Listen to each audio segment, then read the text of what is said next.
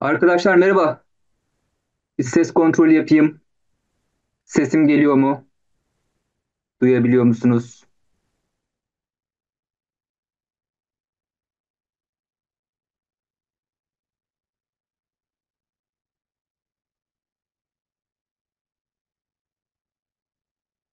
Tamam. Herkese merhabalar. Merhabalar. Peki. Bilen varsa anlatalım. Neyi anlatalım Gülcan? Soruyu kaçırdım.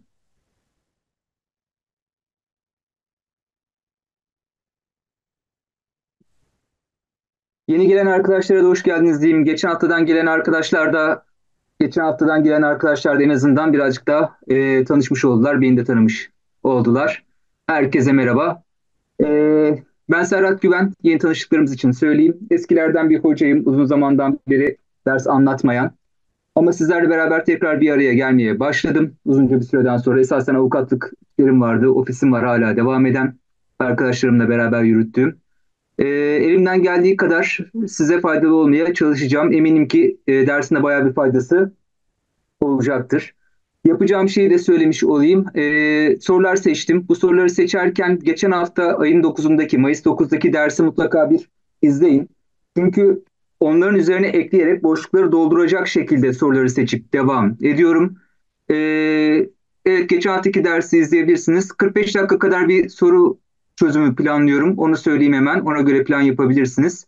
Ondan sonrasında da bir 10 dakika kadar sorularınızı alacağım. Anlattıklarımla alakalı eğer ki sorunuz varsa sonrasında devam etmiş olacağız. Ne anlatıyorum dediğinizde vatandaşlık ayarında gidiyor ama vatandaşlık derken aslında derya denizdir. Bunu söylüyorum. Özellikle temel hukuk. O yüzden bazen sorularım size birazcık böyle aa nasıl ya ters köşe gibi gelebilir ama inanın ÖSYM zaten ters köşe soru sormaya başladı.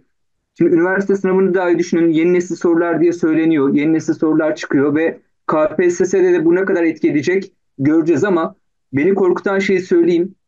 O yüzden çıtayı da birazcık yüksek tutmak istiyorum. Hocam çok hızlı konuşuyorsunuz. Şeyden dolayı Seda Hanım ben şimdi anlaşmayı yaparken tek uzemle kelime başı anlaştım. Yani 45 dakikada ne kadar çok kelime kullanırsam o kadar çok para ödeyecekler. O yüzden hızlı hızlı konuşuyorum. Şaka bir yana tabii ki. Ee, şimdi sadece böyle bir hızlı bir giriş yapayım diye söylemiş oldum. Kelime başı da fena da değil ha. Yani böyle tek uzem dediğinde reklam oluyor. iki katını ödüyorlar falan. Güzel. Şimdi e, o yüzden Tepozem'in de iyi reklam oldu ha bu arada. Ne diyelim. Ee, bu arada e, dediğim gibi soruları çözeceğiz. Çıtayı korkutan şeyi söylemiştim. Aralıkta hakimlikte yapılan bir sınav vardı. İki, bir de 2x yaparsanız 4x olacak. Aralık hakimlik sınavı oldukça anayasanın zorlandığı, insanları zorladığı, bugüne kadar yapılmış en zor sınavdı. O yüzden çıtayı birazcık yüksek tutmaya da çalışıyorum. Önemli olan konuyu anlamanız.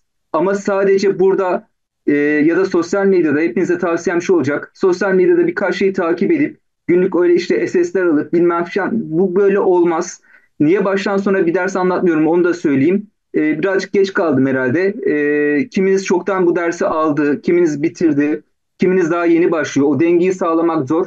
Ama önemli sorularla en azından ne yapalım? E, bir toparlamaya çalışalım diye düşünüyorum. Arkadaşlar anayasa için söyleyeyim şunu. Yani lisans, ön lisans, vatandaşlık e, ya bir farkı kalmadı. Bunun örneklerini de verdim. Videolarımı izleyenler Instagram'dakiler de görmüştür. Yani size bunlar çıkacak diyenler bir defa ya yok öyle bir şey. Ya da bunlar kesinlikle çıkmaz. Nereden biliyorsunuz? Anlaşması mı var? Yani örneğini de verdim. 2003 İdari Yargı Hakimlik Sınav sorusuydu. Bakın bunu her zaman söylüyorum. 2003 İdari Yargı Hakimlik Sınav sorusuydu ve zor bir soruydu. Kenar başlıkları anayasaya dahildir değildir, başlangıç anayasaya dahildir değildir diye sorusu. Bunu hepiniz biliyorsunuz ama bu soru hakimlikte çıktı, 2003'te çıktı. O dönemde milleti döktü attı. Daha sonrasında yıllar sonra bu soru KPSS'de lise ön lisansta çıktı. O yüzden bakın herkesin bildiği sorular işinize yaramayacak. Önemli olan şey sizin sıralama. Yani önde yer alabilmeniz. O yüzden önemli olan o fark yaratacak soruları da yakalayabilmeniz. Yoksa çıkmış sınav sorularına elbette bakacaksınız. Elbette onları göreceksiniz ama ezberlenen soruların, herkesin ezbere bildiği soruların bir faydası yok. Dersi dinlerken biraz sıkılırsanız ben buna sevinirim. Niye sevinirim? E, biliyorsunuzdur, bildiğiniz şeyi dinlemekten sıkılırsınız. O da iyi bir şeydir. Şimdi artık vaktimiz geldi herhalde. Çok da çalmak istemiyorum. Ona göre herkes planlarını yapıyor. O yüzden ben hemen artık geçiyorum sorulara. Sorulara geçerken Yani cevabı falan oraya yazabilirsiniz ama bence öncelikle bana odaklanın. Ee, ne anlatıyorum, neden o soruyu seçmişim bunları bir en azından ne yapalım bir görelim. Yoksa burada derdimiz sadece direkt soruyu böyle cevaplayıp geçmek değil. Hukuk bir mantık işidir. O mantığı alabilirsek o zaman ne yapacağız? Çok daha rahat edeceğiz. Hadi bakalım başlayalım. Şimdi ilk sorumuzla başlayalım. Müsaadenizle. İlk soru aslında klasiklerden biri. Gene bildiğiniz düşündüğüm sorulardan biri. Aşağıdakilerden hangisi medeni hukukun alt dallarından biri değildir? Temel hukuk sorusu olarak bunu seçtim. Şimdi hemen orada cevapları da yazabilirsiniz doğrudan doğruya. İşte bildiğinizi gösterir ama niye bu soruyu seçtiğimi de söylemiş olayım. Bakın bu tip sorular yani genelde bilinen, herkesin bildiği sorular dediğim gibi bir defa bilmezseniz evet sıkıntı ama bilenlerin de herkes bildiğinde bakın orada hep cevaplar geliyor. Evet e, herkes bildiğinde de o zaman ne yapmayacak? Fark yaratmayacak. Esasen fark yaratan sorulara gitmekte fayda var. Medeni hukukun alt dalları nelermiş dediğinizde de genelde daha kalıcı olması bakımından işte şahsın hukuku, aile hukuku, eşya hukuku, borçlar, miras derken medeni hukuk derken medeni kelimesi nereden geliyor biliyor musunuz? Böyle anlayarak gidelim gene aklınızda kalsın. Medeni kelimesi nereden geliyor? Medeni hukuk diye söylüyoruz. Mesela borçlar diyoruz. E borçların nereden geldiği belli işte borç falan. Peki medeni? Medeni kelimesi aslında nereden geliyor biliyor musunuz? Medine'den gelir. Yani Medine'den gelir. Evet o Medine bildiğimiz şehirden gelir. İsveç mi? Medine, Medine hukuk, Medine hukuk nereden geliyor demedim arkadaşlar. Dikkat edin. Medine kelimesi, Medine kelimesi diye söyledim. Medine'den gelir.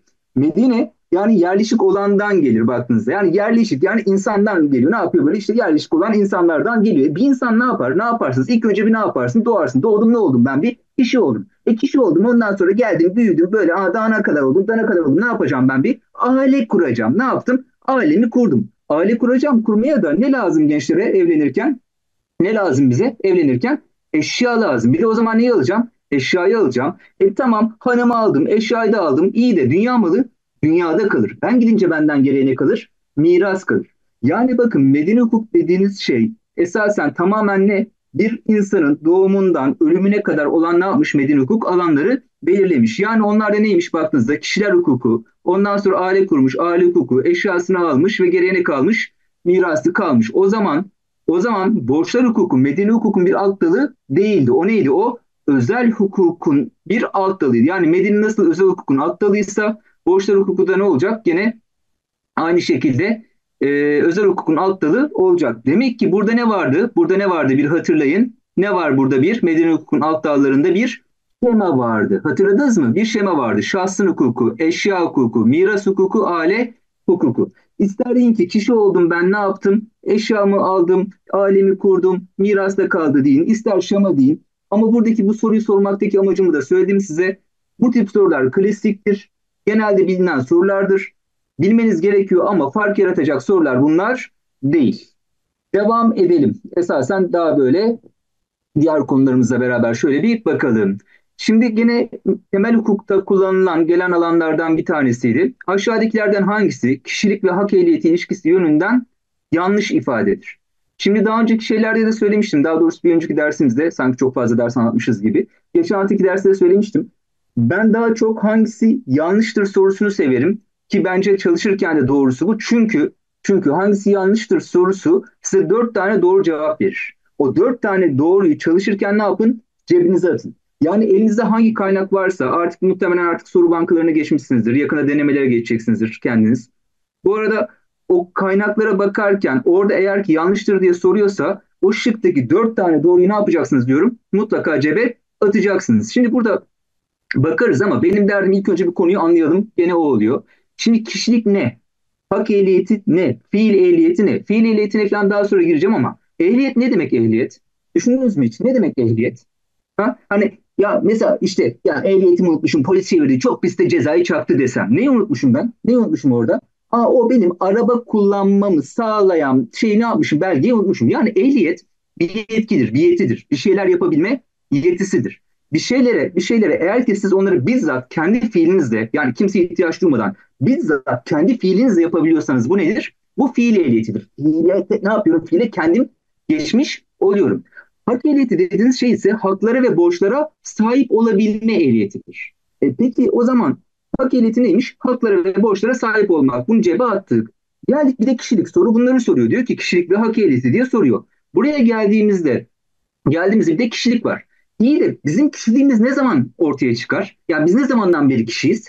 Ben mesela ben hala kişiliksizim. Zaten böyle olmamışım. Öyle mi? Biz ne zamandan beri kişiyiz diye düşündüğünüzde bizler aslında 18 yaş diye geldi oradan cevap. Peki Revşan 18 yaş. Peki 18'e kadar kişi değil miyim ben? Madem kişi değilim ne yaptı? Beni öldürseler adam öldürme suç olmaz. Niye? Ulan adam değilsin sen. Kişi değilsin. Mi? Hayır. Mantığını o zaman görün. Demek ki demek ki aslında biz doğduğumuz andan itibaren aynen öyle. Tam ve sağ, do sağ doğumla tam ve sağ doğumla biz ne oluyoruz? Artık kişiliğimizi kazanmış oluyoruz. O zaman kişilik ne zaman başlardı? Hatırlayalım önce. Kişilik ne zaman başlardı? Sağ ve tam doğumla ne yapar?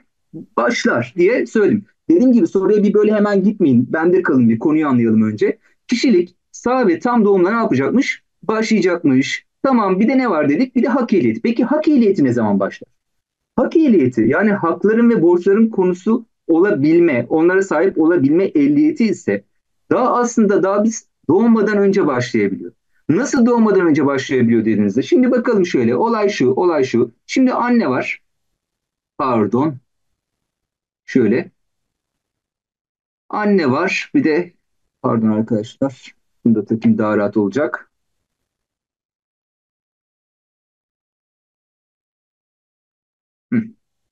Anne ile baba. Tamam bunlar evlenmişler. Anne ile baba var. Daha sonrasında da işte bunlar bir şeyler yapınca yolda ne var? Bir tane Junior var. 9 ay 10 gün sonra ne gelecek? Ufaklık gelecek. Ben onların yalancısıyım öyle diyorlar. 9 ay 10 gün sonra bebiş gelecek ama burada daha anne 3 aylık hamileyken, anne 3 aylık hamileyken baba ne yapsın? Baba hakkın rahmetine kavuşsun. Trafik kazası geçirdi ve baba ne yaptı? Gitti. Baba yok. Baba gitti. Daha sonrasında, daha sonrasında e, bu kadın hamileydi. Aha da burada bebek dünyaya geldi. Şimdi bu bebek dünyaya geldiğinde siz bana şunu söyleyin. Bu bebek dünyaya geldiğinde anlayarak gidelim. Babasının mirasından pay sahibi mi değil mi? Bakın bildiğinizi görün derdim bu. Babasının mirasından pay sahibi mi değil mi? Ya bırakın oku. Bırakın hiçbir şey okumamış olun. Tamam okun. Ya değil mi? Sahibi tabii ki yani kim bu kimin çocuğu? Ne çocuğu bu? Ne çocuğu bu? O babanın çocuğu. İşte madem ki bu o babanın çocuğu o zaman bu doğduğunda doğduğunda mirastan ne yapacak? Pay sahibi olacak. İyi de bu doğduğunda şu doğduğu sırada baba yoktu. Nasıl mirastan pay sahibi oldu? Demek ki demek ki kişilik burada doğumla başlıyor. Kişilik doğumla başlıyor ama ama hak ehliyeti dediğiniz şey daha ne zaman başlıyor biliyor musunuz? Hak ehliyeti dediğiniz şey daha böyle küçücük bir ne yapıyor? Başlıyor. Yani hak ehliyeti sağ ve tam doğum şartıyla sağ ve tam doğum şartıyla daha ana rahmine düşüldüğü anda küçücük bir pıtıkla ne yapıyormuş? Başlamış oluyor. Yani madem ki diyoruz ki arkadaş bu çocuk bunun çocuğu madem ki bu çocuk bunun çocuğu ve mirastan pay sahibi o zaman ne olmalı? Ana bu daha önce başlamalı. İşte o zaman aslında hepiniz biliyorsunuz. Kişilik ne zaman başlar? Sağ ve tam doğumla.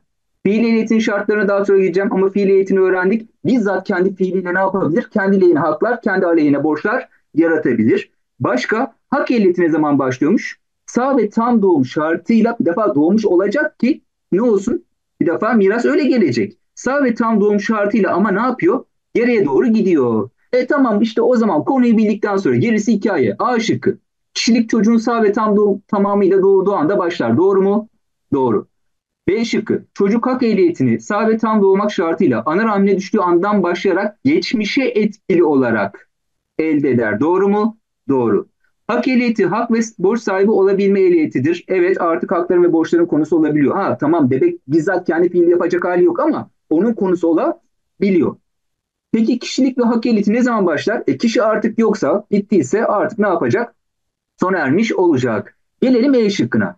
C'nin henüz hak ehliyetine sahip olmayan ancak sabit tam doğum masa halinde başlangıç itibaren kişiliğe sahip olan. Yanlış. Ne yanlış? Şunlar tam tersi olmuş. C'nin henüz kişiliğe sahip olmayan ancak sağ ve tam doğmak şartıyla hak ehliyetine sahip olan bir varlıktır olacak. Sınavda severler gene medeni hukuk bakımından sen ne zamandan itibaren kişisin, ne zamandan itibaren hak ehliyetin var, hak ehliyetin nedir? Şöyle en azından mantığını ne yaptık? Hep beraber görmüş olduk. Hadi devam edelim. Geldik şimdi nereye? Başka bir temel hukuk sorusuna. A meraklısı A. yaban domuzlarıyla ünlü ormanda avlanmaya gitmiş.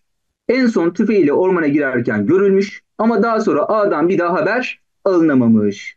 A hakkında da galiplik kararı verilmesi gerekiyorsa da bu ne zaman olacaktır? Yani bu karar ne zaman çıkabilir?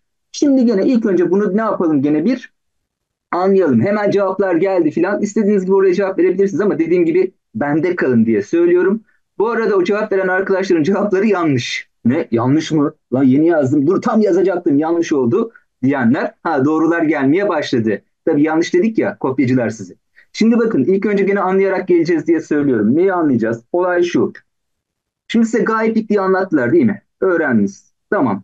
Gayiplik diye de çalışıyorsunuz. Gayiplik derken gayip ne ya? Gayip ne? Gene kelimeleri anlayın. Yani bir şey çalışırken böyle bir şey yapın. Ne oradan ses mi geliyor? Kulağıma bir şeyler geliyor.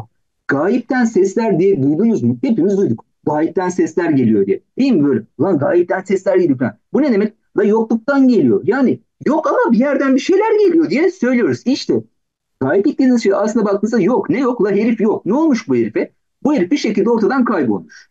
İşte bu adam ortadan kaybolduğunda biz hukukta buna ne diyoruz? Gayiplik diyoruz ve gayiplik kararı çıkarttırıyoruz. Nereden? Mahkemeden. Diyoruz ki bu adam kayboldu. Bu adam kayboldu. Yok. E ne yapacağız? E bunun şirketi var, çalışanları var. Ne bileyim işte ev sahibi var. Değil mi? Bir şeylerin devam etmesi lazım. O zaman ne olacak? O zaman işte bir gayiplik kararı çıkması gerekecek.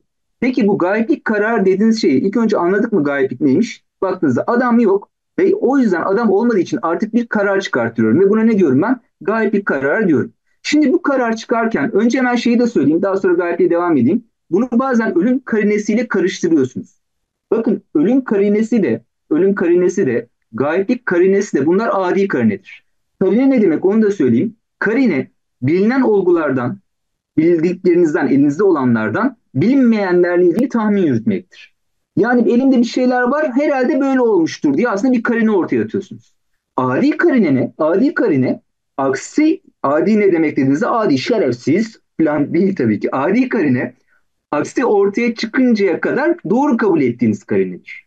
Örneğin mesela örneğin babalık karinesi nasıl bir karinedir? Babalık karinesi baktığınızda adi bir karinedir. Niye? Ya evlilik birliği içerisinde doğan çocuğun babanın çocuğu olduğu düşünülür de. Düşünülür de. Ya ortada sütçü varsa? Ya yani ne olabiliyor bunun? Aksi ortaya çıkabiliyor. Ama analık karinesi öyle mi? Analık karinesi öyle değil. Ana ne der? Ben doğurdum. Kesin. Orada nereden çıktı? Belli. Anadan çıktı orada. Belli olmuş. Olacak. İşte ölüm karinesi diye söyledim. İlk önce onu bir halledeyim. Şimdi ölüm karinesi dediğinizde onda çok karışır gayiplik. Karıştırıyorsunuz. Ölüm karinesinde olay şu. Ölüm karinesinde zaten soruda size ölüm diye geçer haberiniz olsun. Yani oradan yakalarsınız. Ölümüne kesin gözüyle bakılan bir yerde kaybolduysa artık aklınıza ne gelecek? Artık aklınıza ölüm karinesi gelecek. Yani kastım şu. Adam uçağa binmiş uçağıyla giderken hop uçak aşağı uçar. E yolcuların hepsi neredeyse ölmüş kurtulan yok deniyor. Kaç tane orada şey vardı yolcu vardı? 100. Kaç tane ceset bulundu? 99. Lan cesetlerden biri yok. Yok. Adam uçağa binmiş gözüküyor ama ceset sayısı tutmuyor. Bu adam ne olmuştur büyük ihtimalle? Ne olmuştur? Ölmüştür. Artık neredeyse kesin gözüyle ne yapıyorsunuz? Bakıyorsunuz. İşte bu ölüm karinesidir. Tamam? O kadar kesin gözüyle baktığınızda ama gene de cesedi gören var mı? Yok. Devamına geldiğinizde, gayepliğe geldiğinizde ise gayette de yok diye söylüyoruz ama burada iki tane neyiniz vardı? Süreniz vardı. Bir, bir yıllık süreniz vardı. Bir de beş yıllık süreniz vardı gayeple ilgili. Olay şu, olay şu. Birinde ölme ihtimali kaybolurken ölme şüphesi olan bir yerde bu adam gittiyse artık hukuk diyor ki ya diyor bunda süreyi kısaltalım. Bu adamın gayiplik kararı için. Niye? Zaten ölme potansiyeli olan, ölüm tehlikesi olan böyle bakın kesin şüphe falan demiyorum. Neredeyse böyle bayağı böyle bir vahim durumdan bahsetmiyoruz. Ölüm şey uçak kazası gibi değil ama ya ölmüş olma ihtimali de var ha bayağı gibisinden ise işte o zaman süreyi daraltıyorlar. O zaman diyorlar ki bir yıl beklemen yeterli. O zaman sorun cevabını söylemiş olduk. Niye söylemiş olduk? Dikkat edin buraya. Bu adam nereye gitmiş? Bu adam nereye gitmiş? Bir bakın soruya. Soru size söylüyor aslında. O kadar yorum hepimiz yapabiliriz. Burada canavar gibi neler var? Arkadaşlar var. Hepimiz en azından bu yorumu ne yapabiliriz? Yapabiliriz. Adam neye gitmiş? Ava gitmiş. Bu adam ne yapacak? Ayı avlayacak diye, domuz avlayacak diye gitmiş ama muhtemelen bu ayıyı avlayacakken ayı bunu avladı. Yani ihtimal dahilinde olan bu. İşte o yüzden artık süre ne? Artık süre bir yıl olacak. Ama bu adam, bu adam mesela gitti ve yok yani ne olduğunu da bilmiyoruz. Yola çıktıydı. Normal arabasıyla binmiş, yola çıkmış. Yola arabasıyla bindi, şeyler arası yola gidecekti. Adam kayıp. Şimdi adam kayıpsa artık, artık orada süre ne olacak? Baktığınızda 5 yıl olacak. Niye? Ya trafik kazası haberi yok, başka bir şey yok ama adam ortada yok. İşte artık orada süre ne yapmış? Uzamış. Diyor ki hukuk, ha orada biraz daha bekleyeceksin. O yüzden soruda siz burada olduğu gibi ava gitmiş, işte ne bileyim daha böyle birazcık daha ölümle alakalı başına bir şeyler gelebilecek bir noktadaysa süreyi ne yapacaksınız? Bir yıl yapacaksınız. Eğer ki öyle değil de böyle baktığınızda dikkat edin süreyi ne yapacaksınız? Beş yıl. Ha bu arada şunu da söyleyeyim. Adam ortada yok diye kalkıp da sürekli gayet bir karar verilebilir mi? Olur mu öyle bir şey? Yine ne olmalı? Bir potansiyel bir şüphe olması gerekecek. Düşünsene adam mektubu yazmış hanıma. Hanım Allah'ın cezası sana bunca yıl dayandım bundan sonra ben yokum dedi. Herif kayboldu. Ya işte o zaman ne olmaz? Gayetlik kararı olmaz. Adam zaten niyetini ne yapmış? Hanıma belli etmiş. Peki gayet ne demekmiş? Kelime olarak anlayın. Ondan sonrasında ne yapın? Yolunuza devam edersiniz. Arkadaşlar burada yazılanların hepsine şimdi cevap veremiyorum. En son sorularınız varsa soruları orada almış olacağım anlattıklarımla alakalı. Hadi devam edelim. Ha, bu soruyu niye seçtim? Arkadaşlar bu soru benim için potansiyel sınav sorusu. Onu size hemen söyleyeyim.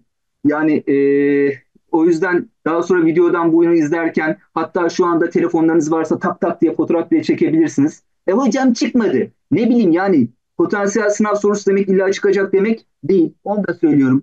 Ömrü hayatında hiçbir zaman bu çıkacak demedim ama bu soru bu yıl ÖSYM'de bu yıl olmazsa seneye 2024 ya da 2025'in hakimlikte mi gelir, KPSS'da mı gelir, vatandaşlıkta mı gelir emin değilim ama birinde gelecek. Onu size söyleyeyim. Yani e, bu soru bu şekilde gelecektir. Neden dediğinizde nedeni de şu. E, bu gördüğünüz soru Mart 2024 8. yargı paketi değişikliğidir. Kısıtlanma nedenleri zaten sevilen konulardan biridir. Yani e, vatandaşlıkta da severler kısıtlanma nedenlerini. Bir değişiklik yapıldı. Öncesinde öncesinde hikayeyi de anlatayım. Bu zor bir soru değil arkadaşlar. Bu doğrudan doğruya ezber ve eskiden de defalarca ne soruldu baktığınızda kısıtlanma soruldu. Arkadaşlar işte akıl zayıflığıdır, akıl hastalığıdır, kötü yaşam tarzıdır. Bunlar hep kısıtlanma nedenidir. Tamam mı? Ve eskiden şöyle bir şey vardı. Ee, bir yıl ve fazlası hapis, bir yıl ve fazlası hapis bir kısıtlanma nedeni idi. Daha sonrasında Anayasa Mahkemesi, Anayasa Mahkemesi 2023 yılında bunu iptal etti. Bunu iptal edince artık bir yıl ve fazlası hapis kısıtlanma nedenidir derse bu ifade artık yanlış olmuş oldu. Yanlıştı. Peki ne oldu sonra? Mart 2024'te 8. yargı paketiyle beraber dediler ki dediler ki toplamda toplamda sorun cevabını da vermiş olacağım.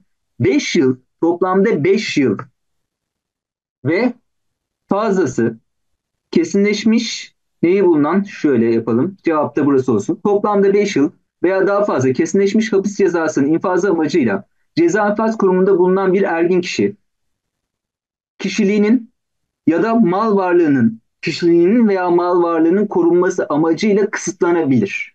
Ve işte burada o kişinin rızası falan aranmıyor. Ne diyor soru? İsteği bulunmasa dahi kısıtlanabilir diyor. Ne zaman isteği bulunmasa dahi kısıtlanabilirmiş? 5 yıllık bir süre söz konusuysa. Yani bu yeni geldi. 5 yıllık süre. Söylüyorum bakın çok taze. Mart 2024 değişikliği. O yüzden hakimlikte mi çıkar? E, KPSS'de mi gelir, A'da mı gelir, lise ön lisansda mı gelir bilmem. Ama söylüyorum bu soru potansiyel sınav sorusu olacak. Bu yıl mesela bir de HMGS'miz var artık avukatlık sınavı.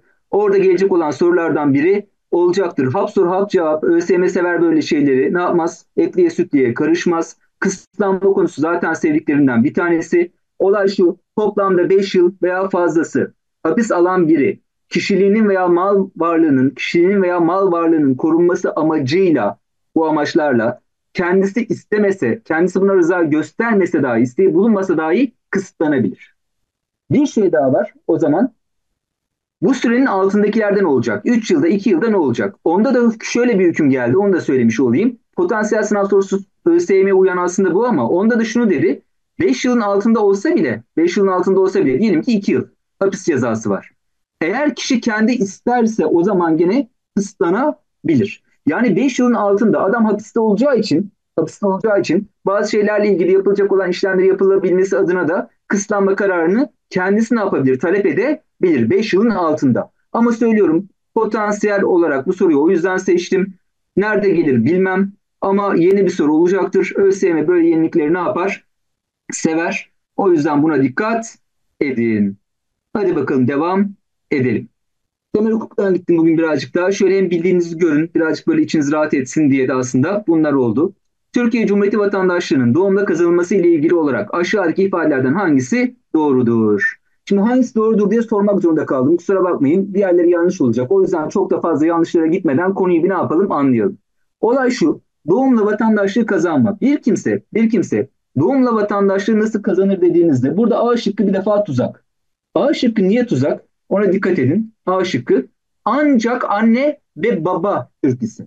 Yani hem anne hem de baba ne olacak diyor A şıkkı. Türk olacaksa kazanır diye söylüyor. İşte ancak ifadesi orada yanlış hale getiriyor. Çünkü bizde vatandaşlık, bizde vatandaşlık hangi esasla kazanır biliyor musunuz?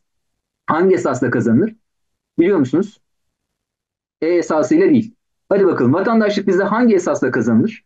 Neye dayanır vatandaşlığı kazanmanız? Hepiniz biliyorsunuz aslında. Neye dayanır? Kana dayanır. Vatandaşlık iki şekilde kazanılır. Ya kan esası vardır temelde. Doğumdan bahsediyorum. Doğumla kazanmadan. Ya da toprak esasıyla kazanır.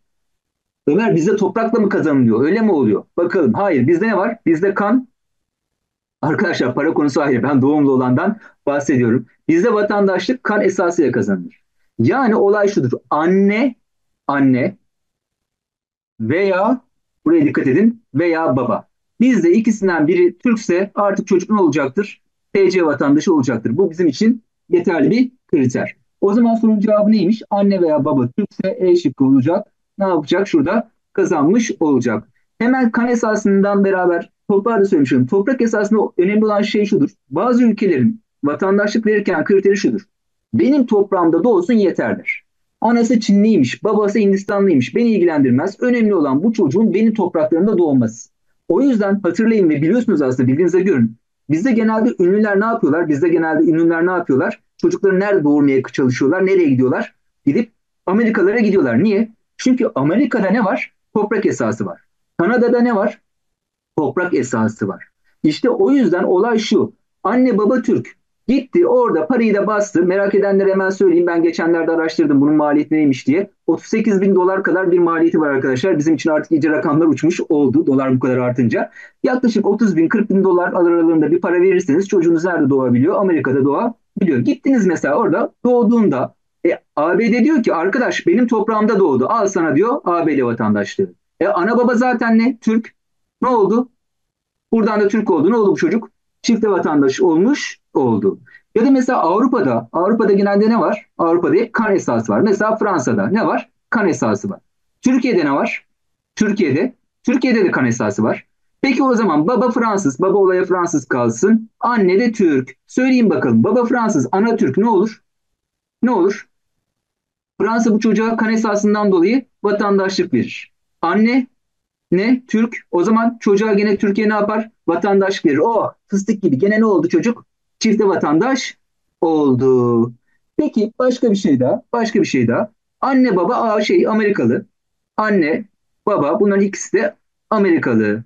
Bunlar daha sonrasında böyle cesur yürekler gelirler. Kadın hamileyken, kadın yedi buçuk aylık hamileyken Alanya ucuz diye Türkiye'ye Alanya'ya gelirler. Anne baba, baba neymiş?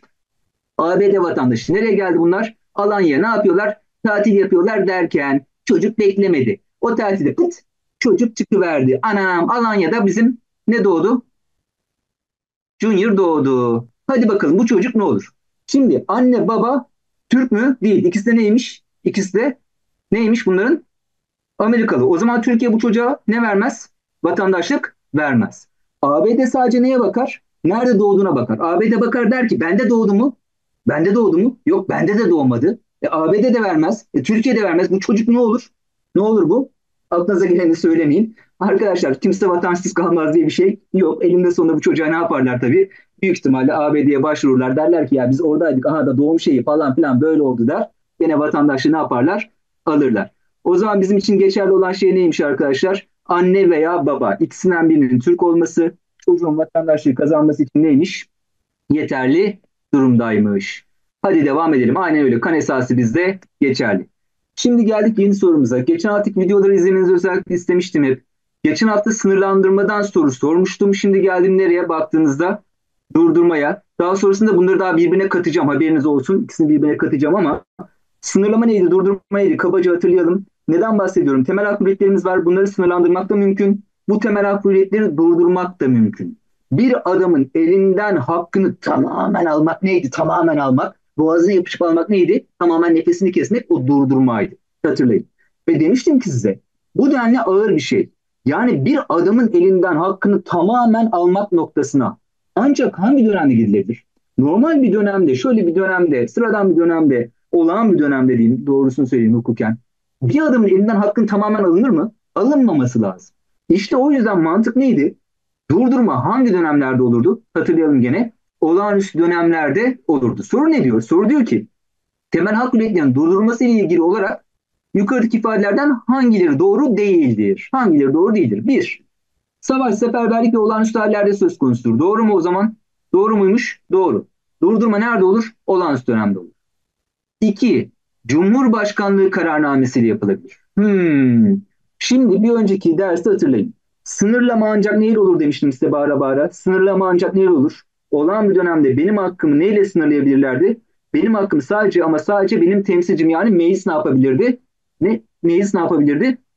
Sınırlayabilirdi. Yani sınırlama ancak neyle olurdu? Kanunla olurdu.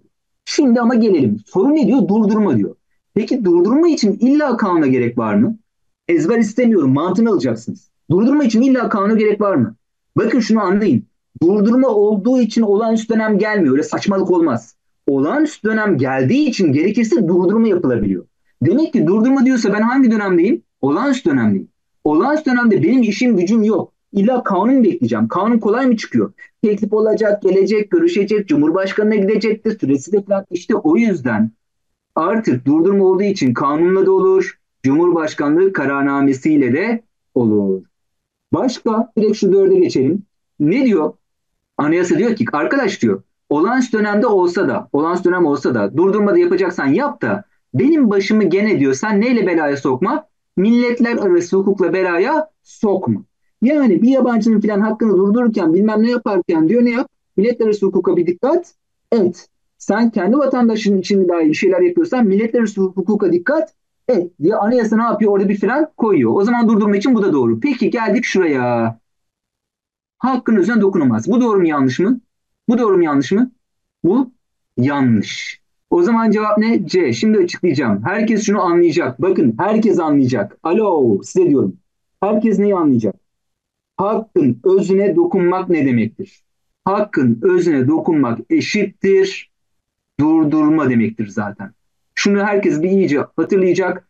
Aslında saçma sapan bir şey. Hakkın özüne dokunmak dediğiniz şey aslında zaten durdurmaysa Durdurmayla durdurma olmaz. Hakkın özüne dokunarak hakkın özüne dokunamazsın gibi bir anlam çıkar. Öyle değil mi? Yani adım eline hakkın tamamen aldıysam özüm özü kalmamıştır. Bu zaten durdurmadır.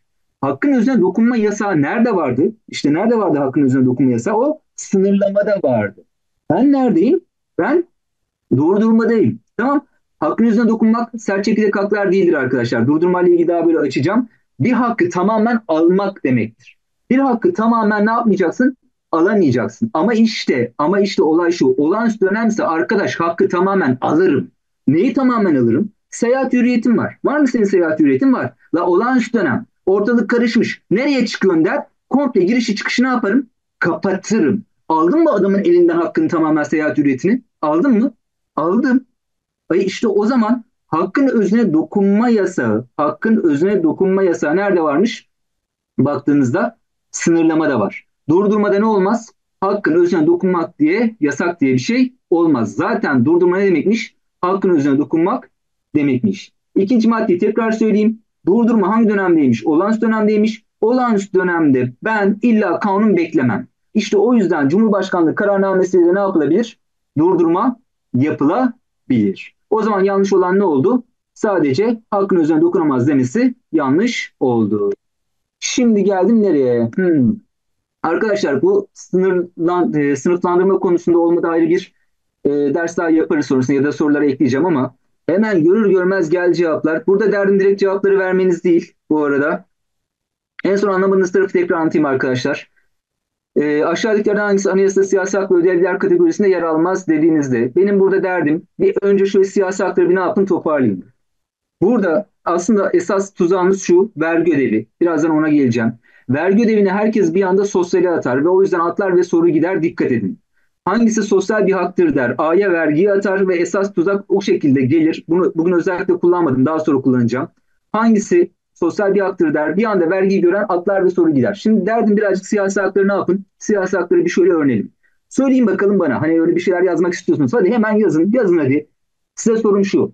Doğumla kazandığınız, doğumla kazandığınız ilk siyasi hakkı istiyorum. Doğumla kazanılan ilk siyasi hak. Hadi yazın hemen. Doğumla kazandığınız ilk siyasi hak. Yaşama hakkı. Evet yaşama hakkı. Doğumla kazanılan kişilik yaşama hakkı. Cevap. La arkadaş doğumla kazanan ilk siyasi hak. Ne? Baktığınızda kişilik olur mu? Yaşama hakkı oldu mu? Yaşıyorum. Siyaseten yaşıyorum. Siyaseten varım filan. Vergi mi? Arkadaş doğumla kazandığınız ilk siyasi hak neydi? Vatandaşlık hakkıydı. Bizim doğumla kazandığımız az önce söyledik soruları aslında o yüzden yaptım.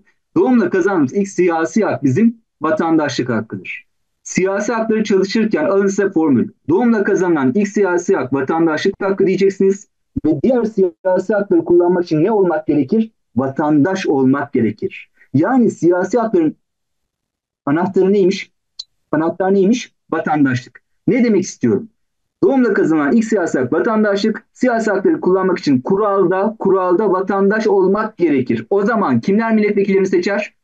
Vatandaşlar. Kimler milletvekili olabilir? Vatandaş. O zaman seçme seçilme nasıl bir hak? Seçme seçilme nasıl bir hak? Nasıl bir hak? Siyasi. Ya hocam biz bunu biliyoruz. Güzel bunu biliyoruz. Peki o zaman vatan hizmeti nasıl bir hak?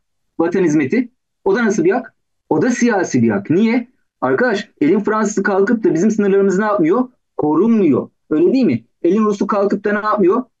Bizde askerlik görevini yapmıyor. Askerliği sadece kim yapıyor? TC vatandaşı yapıyor. O zaman vatan hizmeti de tuzaktır bu arada. Kişi hakkı diye atanlar çıkar. Aslında vatan hizmeti neymiş? Siyasi bir hakmış. Başka mesela başka ne siyasi hak dediğinizde kamu hizmetine girme. Ya Allah aşkına söyleyin bana kamu hizmetine girme hakkı ne? Nasıl bir hak? Siyasi nereden biliyorsunuz? Hepiniz biliyorsunuz. KPSS'nin daha ilk şartı ne? Ne ilk şartı? İstanbul şartını sormadım. KPSS'nin şartı ne? Ne olacaksın? TC vatandaşı olacaksın. Ya Allah aşkına bildiğinizi bir görün. Hanginiz hanginiz KPSS şartı bulurken ne bileyim işte bir nüfus idaresine gittiniz, sabahleyin gittiniz öyle bir nüfus idaresine gittiniz ya da işte vergi idaresine gittiniz, dairesine gittiniz, işiniz var. Girdiniz vergi dairesine, içeride orada bütün tak diye karşılanan var mı size? Ha? Böyle good morning sir falan. Var mı bizde Alman memur? Fransızı gördünüz mü orada memuriyet yapan? Allah'tan yok yani yoksa bize sıra gelmeyecek. O ayrı konu. O zaman bildiğinizi görün. Madem bir kamu hizmetine girme siyasi bir haktır o zaman bunun uzantısı mal bildirimi nasıl bir hak? Mal bildirimi. O da nasıl bir haktır? O da siyasi bir haktır. Mal bildirimine Allah nasip edip de memur olduğunuzda hemen ispiyona başlayacaksınız. Memur olduğunuz artık ispiyona başlayacaksınız. Böyle şefe, şefim bu biraz mal. Evet bu arkadaş da mal çıktı. Değil tabii ki. Malınız, mülkünüz ne var ne yok ne yapacaksınız? Malınız, mülkünüz ne varsa memur olarak bunu ne yapacaksınız? Beyan edeceksiniz. Kaç yılda bir yapılıyordu bu? 5 yılda bir yapılıyordu. Sonu 0 ve 5 ile biten yıllarda ne yaparlar memurlar? Mal beyanında bulunurlar. O zaman başka başka ne dediğinizde işte bir tanesi de ne? Vergi ödevi. Ha şimdi gelelim buraya. Bakın vergi ödevine dediğiniz şey aslında herkes. Yani yabancılar da ne yapar? Vergi verir. Bakın bunda bir şey yok. Aslında yabancılar da ne yapar? Vergi verir. Ama ben bu tuzağı şimdiden halledelim istedim. Vergi klasik tuzaktır ve sosyal atarsınız diye söylüyorum. Şimdi buraya dikkat edin. Sizden bir ricam var. Sizden bir isteğim var. Allah aşkına beni bir dinleyin. Aynen öyle. Herhalde önceki şeyleri dinleyenler. Şimdi bakın herkes ne yapıyor? Aslında vergi veriyor. Buna yabancı dahil ama sizden bir isteğim var. Hiç tax free diye bir şey duydunuz mu? Böyle tax free diye yazar. Ne demek tax free? Ne demek tax free? Vergi yok. Vergi muaf falan. Vergi yok. Kime yok o vergi? Kime yok? Yabancıya yok. Bakın ne demek istiyorum. Böyle bir AVM'ye gittiğinizde, AVM'lere girdiğinizde orada Teknosa'nın camında Teknosa'nın camında bundan sonra şöyle bakarsınız. Hatta dersten sonra, dersten sonra şöyle bir internete girin. Tax free uygulanan mağazalar diyeyim. Ya bakın basit bir şey. Tax free uygulanan noktalar diyeyim. Bunu bir görün. Böyle mağazalara gittiğinizde, AVM'ye gittiğinizde orada Teknosa'nın camında, ne bileyim Zara'nın camında filan işte Vakko'da şey görürsünüz böyle. Camda mavi beyaz bir etiket tax free yazar. Ne diyor tax free? Vergi yok. Kime yok? Kime yazıyor onu? Şş, yabancıya yazıyor. Diyor ki şş, şş, gel gel Arap gel gel Arap gel gel bana gel. Gel, gel ben sana laptopu vereyim. Sen bu laptopu al. Ben Sana bu laptopu verirken sen pasaport numaranı işleyeyim, tax free kağıdını doldurayım, gümrük kapısından giderken çıkarken bu laptopun vergisini geri al. Şimdi 50 bin liralık laptopu almış. 10 bin lira az para mı neredeyse? 10 bin lirayı ne yapıyor geri? Cebe atıyor bu. Yabancının neyi varmış? Tax free'si var. Yabancı ne yapıyor bu tax free? Çekiyor. Ya bakın sizden ricam Allah aşkına hepiniz yapın ya Allah aşkına. Hafta sonu bir AVM'ye gidin. Öyle camlarda gezerken böyle bakın. Ana hakikaten de bak ne var? Tax free diyor. Ana bak şerefsiz gavur demek ki ne vermiyor? Vergi vermiyor değil. Bir kere değil la bir kere. Daha da sınava kadar unutmazsınız. Mümkün değil. Daha da ondan sonra unutmazsınız. Herkes vergi tuzağına düşerken sosyal diye siz dersiniz ki vergi nasıl bir yapmış? Nasıl bir yapmış? Siyasi bir hakmış. Bakın bu vergi ödevi dediğiniz şey, vergi ödevi dediğiniz şey tax free'den dolayı free kimi çekiyor diyeceksiniz. Kim çekiyormuş bu free? Yabancıyı çekiyor. Hatta bekarlık zamanlarımda ben kendime tişört yaptırmıştım. Bayağı bir de ekmeğini yemiş oldum. Tişört yaptırdım kendime. Üstüne kocaman yazdım böyle tax free diye. Böyle Alanya'da gezerken yabancıların ne yapsın ilgisini çeksin diye. Bir kere rica ediyorum sizden. Gözünüzle bir görün. Dersten sonra tax point noktaları diye yazın. Tax noktaları mağazaları diye yazın. Ondan sonra deyin ki ana bak tax diye bir şey vardı. Yabancı, vergi, aa bu neydi? Siyasi diye ne yapın? Hatırlamış olursunuz. Esas tuzağınız esasen buydu. Bilgi edinme dilekçe hakları, bunlar nasıl haklar? Gene siyasi haklar ve yabancının kullanabildiği siyasi haklardı. Onları ariyeten soru yapalım. Kars'ta AVM'm yok. Hemen açayım ben. Vallahi o iş fırsatı buldum kendime. Arkadaşlar soruya baktığımızda, döndüğümüzde bunlardan hangisi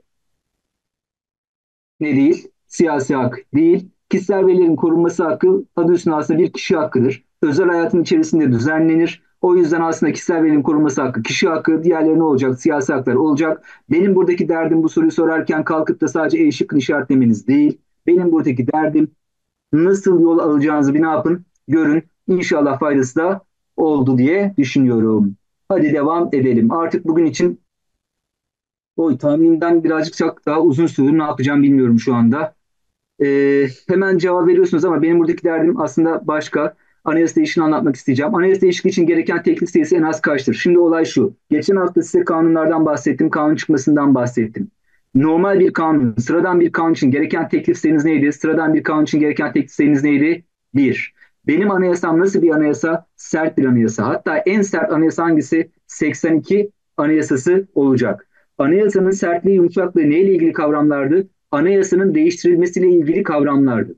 Eğer ki anayasayı normal bir yasayı değiştirir gibi değiştirebiliyorsanız o zaman yumuşak, anayasayı değiştirmek normal yasaları değiştirmekten daha zorsa, daha farklı usullere tabi kılınmışsa ya da anayasanın değişmez, hatta değiştirmesi teklif dahi edilemez hükümleri varsa o zaman ne olacak? Sert bir anayasa olacak. İşte baktığınızda benim anayasamın ilk üç maddesi değişmez, değiştirilmesi teklif dahi edilemez. Artı benim anayasam niye sert biliyor musunuz? Daha sertlik daha en başta başlar. Daha nerede başlar? Daha teklif aşamasında başlar. Sıradan bir kanun olsa, normal bir kanun olsa bir tane milletvekilinin teklif vermesi yeterli iken iş anayasayı değiştirmeye geldiğinde öyle bir tane vekilin teklifiyle bu iş olmaz. Anayasa değişikliği için en az meclis üye tam sayısının üçte birinin yazılı teklifi gerekir. O sayıda kaç? 200. Hap soru, hap cevap herkes bilecek. Anayasa değişikliği için gereken teklif sayısı en az kaçmış? 200. Tamam. En az meclis üye tam sayısının kaçıymış? Üçte biri olacak. Devam edelim. Şimdi boş sayfa yaptım çünkü nedeni de şu. Arkadaşlar size ilk önce bir anayasa değişikliği anlatacağım. Hem böyle bir hız kazanmış olayım. Çok da vaktinizi almak istemiyorum. Planladığım dışına çıkmak istemiyorum. Herkesin bir planı var. Arkadaşlar şimdi beni bir dinleyin. Size hızlı bir anayasa değişikliği anlatayım. Sonrasında zaten soruları tak tak diye çözeceğiz. Tamam? Şimdi anayasa değişikliği için size ne derim? Size ne derim? Bir defa ne olacak? Öncelikle üçte birinin yazılı teklifi gerekecek. Bu teklif. Tamam bunu teklif ettiler. Daha sonrasında bunun mecliste neyi olması lazım? Bunun mecliste bir kabul olması lazım. Şimdi herkes şunu anlasın. Anayasa değişikliği denen şey aslında bir kanundur ama özel bir kanundur. Özel hükümleri dışında neye tabidir? Kanunların tabi olduğu hükümlere tabidir. Anayasanın şimdi anayasa değişikliği mantığını söyleyeyim size. Anayasa, anayasa değişikliği konusunda iki farklı yol izlemiş. Demiş ki eğer ki demiş sayı yakalarsa şöyle olur. Sayı demiş bunu yakalarsa böyle olur. Niye? Çünkü ortada bir cumhurbaşkanı faktörü var. Cumhurbaşkanı meclis iradesiyle beraber bunu doğrudan doğruya yayınlayıp resmi gazetede bu işi bitirebilecek. Ya da Cumhurbaşkanı meclisin iradesi yeterli olmasa dahi gene ne yapabilecek? bunun halk oyu gerçekleşmesini sağlayabilecek. Ne demek istiyorum dediğinizde şöyle bakalım. Anayasa değişikliği şimdi bakın teklifi verdik. Dedik ki anayasanın şu şu maddeleri değişsin diye teklif verildi. Daha sonrasında bu nasıl kabul edilir dediğinizde anayasa değişikliğinin bir defa kabul edilebilmesi için en az meclis üye tam sayısının 5'te 3'ünün oyu gerekir. Yani sayınız kaçmış? En az 360 olacak. Yani o zaman hap soru yapacağı anayasa değişikliğinin yapılabilmesi için gereken sayı en az kaçtır? Cevabınız neymiş? Anayasa değişikliğinin yapılabilmesi için gereken sayı en az kaçtır? Cevap neymiş? Baktığınızda 5'te 3 yani 360. Soru da burada olduğu gibi 500 milletvekili oy kullanmış. O zaman kaç gerekir filan dese onun 5'te 3'ünü filan almayacaksınız.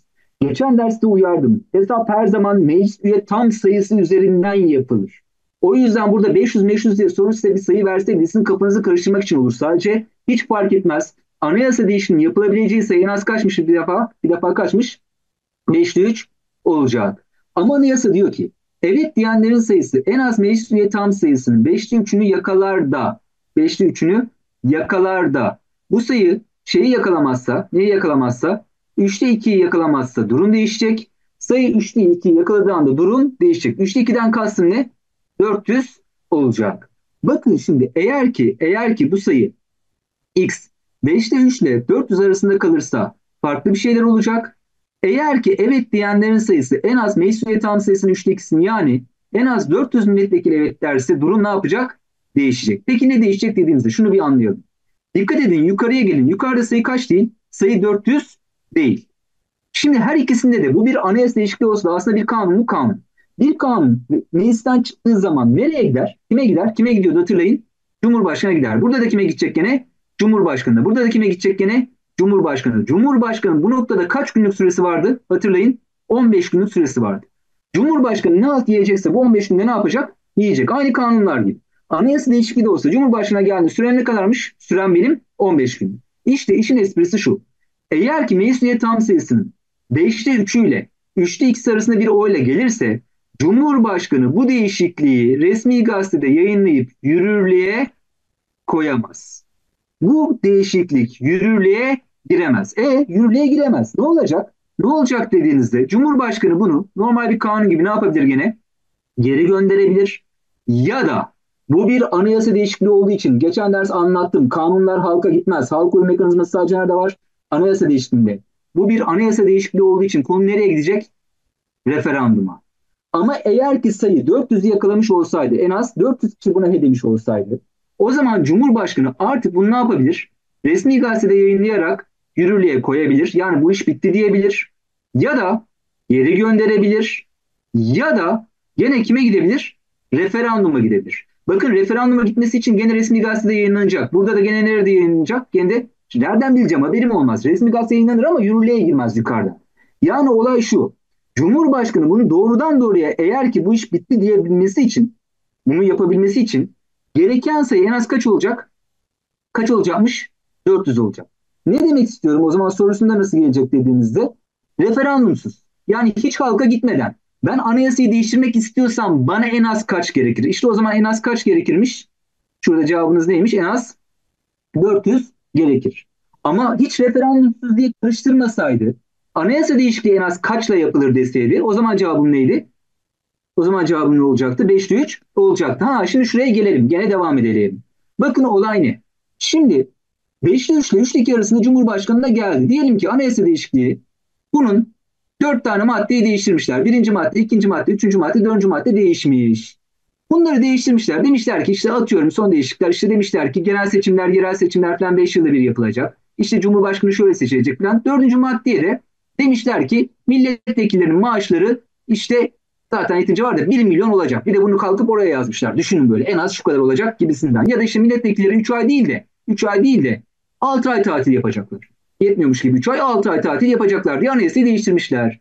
Şimdi bu Cumhurbaşkanı'na geldiğinde kaçla gelmiş olsun? Şu aradan gelelim. 360'la gelmiş olsun. Cumhurbaşkanı bu değişikliği istese bile hatta Cumhurbaşkanı haklar tanımış olsalar dahi sayı 400 değil. Ama Cumhurbaşkanı iyice güçlendiriyorlar.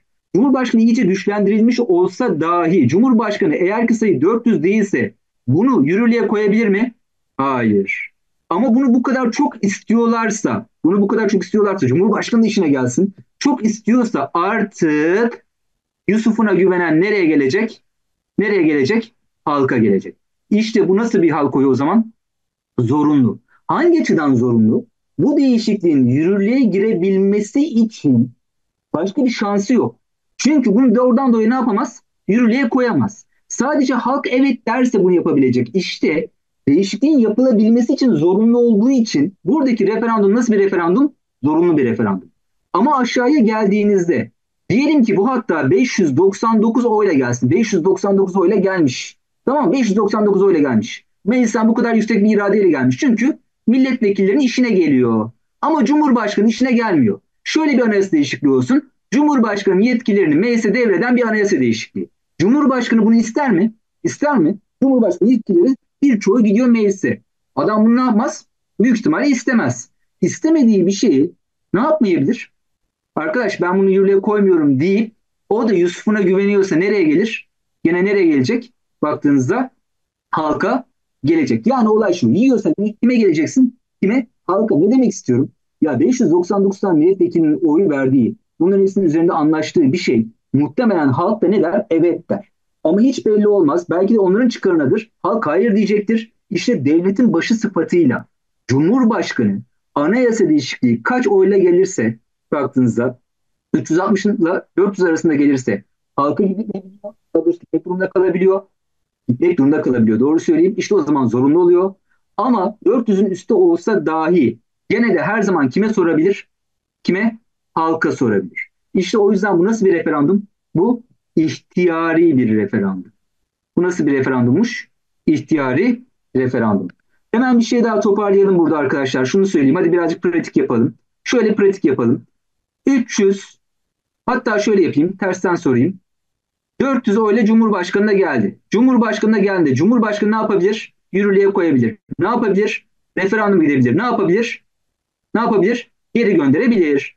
400'de geldi. Cumhurbaşkanı geri gönderdi. Meclis bunu tekrar gönderecekse en az kaçla gönderecek? Meclis 400'de göndermiş. Cumhurbaşkanı geri göndermiş. Meclis bir daha gönderecekse 301 nereden çıktı? Hiç sayıda var mı burada 301 diye? Ha? Ayşin var mı hiç? Baktığında. Ha? Kaçla gönderecek o zaman burada? En az kaçla? Arkadaşlar atlamayın gene. En az 360 ile size en az dedim. Referandumsuz dedim? Demedim. Yani meclis 400'de gitmiş. Olay şu. Toparlayayım. Bakın toparlıyorum size. A partisi, B partisi, C partisi birleşmişler. Bunlar beraber anayasayı değiştirmeye karar vermişler. Toplamda da gitmişler 500 tane oy almışlar. A partisinin bu arada A partisinin bu arada 110 tane milletvekili var. Hepsinde oy vermiş. Daha sonrasında bu 500 oyla Cumhurbaşkanı'na gelsin. Cumhurbaşkanı'na kaç oyla geldi? 500 oyla geldi. Cumhurbaşkanı bunu geri gönderdiği sırada C partisi dedi ki lan dedi bu anayasa değişikliği bizi bozar. Bizim ne yapar? Oylarımızı düşürür. C partisi desteğini çekti. Dedi ki ben yokum arkadaş. Ne zaman dedi? Cumhurbaşkanı geri gönderdikten sonra.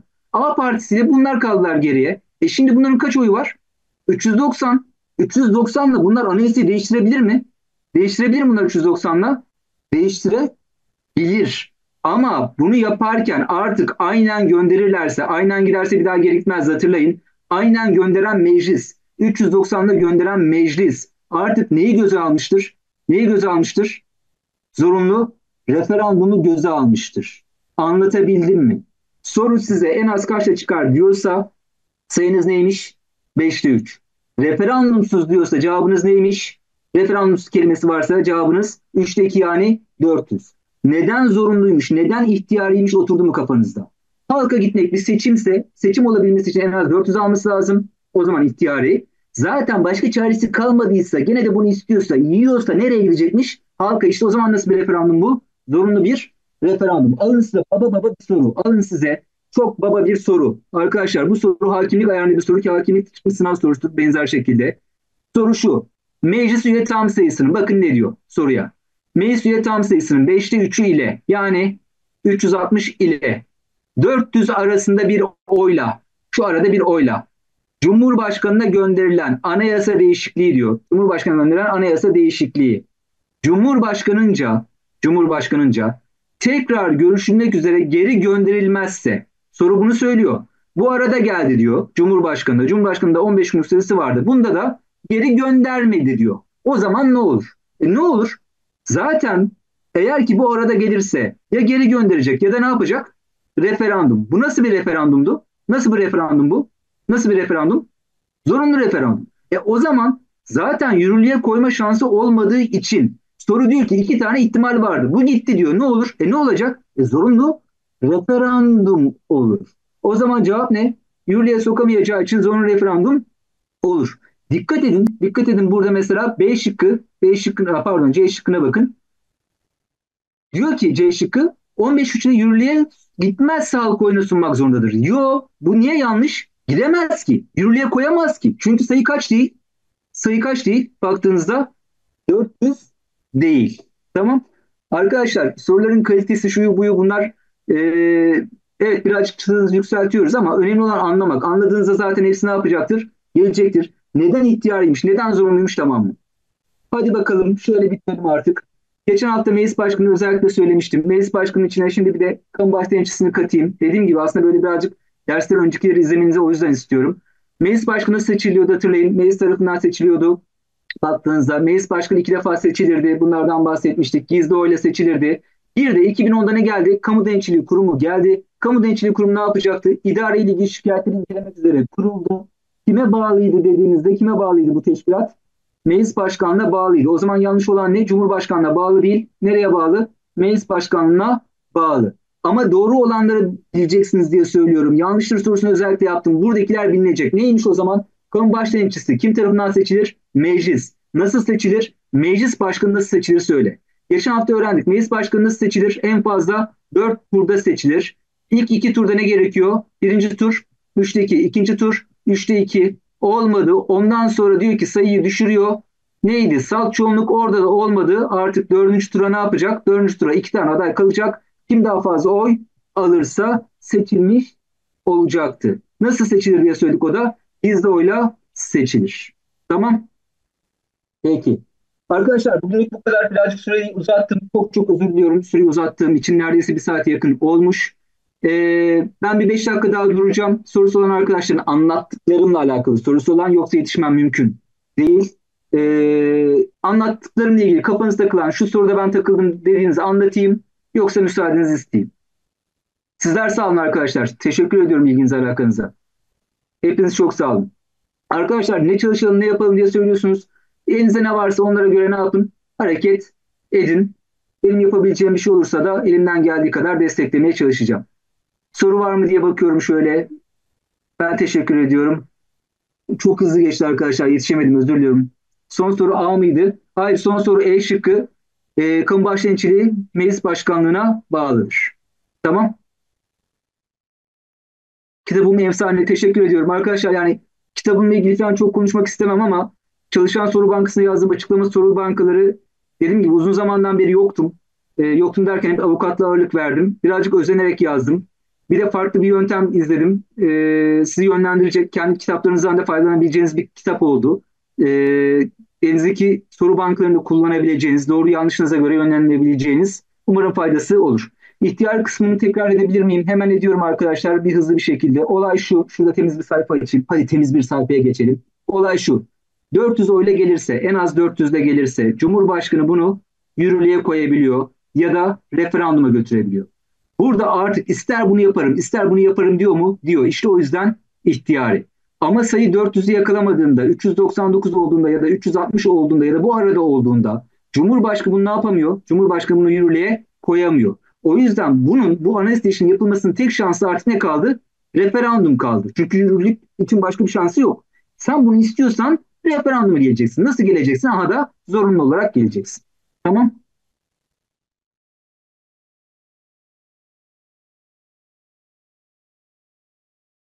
Arkadaşlar eminim iyi arkadaşlarım vardır, anlatıyorlardır. Ben böyle ekstradan çıkmış oldum.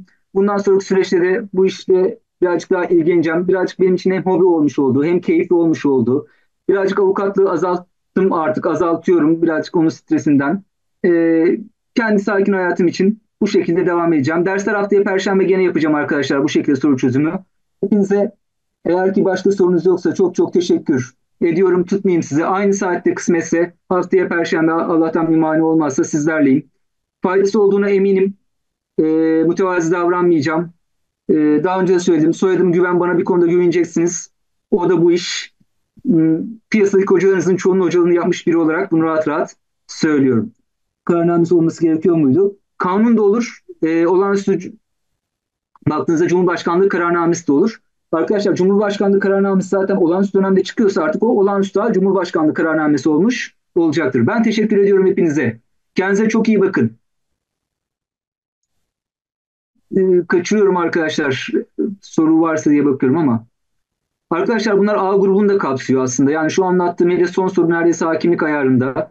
Ee, A grubunda kapsayan sorular olmuş oluyor. Çünkü bence artık çıta hakikaten azalmış oldu. Yani vatandaşlıkla A grubu arasında bariz bir fark yok. Kendi branşım için, anayasa için bunu söylüyorum. Eyvallah, teşekkür ediyorum Tarık. Hepinize, hepinize çok ediyorum. Hadi gençler gidin birazcık dinlenin. Kendinize iyi bakın. Tamam. Kaymakamda çıktı. E, çıkmayan bir şey niye söyleyeyim ben size? Hadi görüşürüz. Hepinize çok çok selam. Hoşçakalın. Saygılar.